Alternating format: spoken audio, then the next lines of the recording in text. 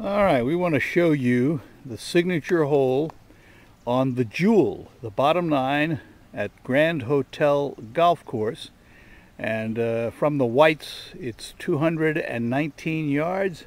So we'll walk you over to the tee box, which is right behind me. And we'll take you up to the tee box. And we'll walk over to the whites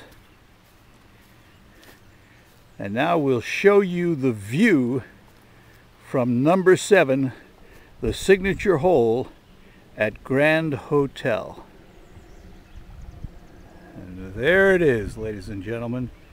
The bay behind, the hole below, and just a beautiful, beautiful view from number seven of the Jewel of Grand Hotel.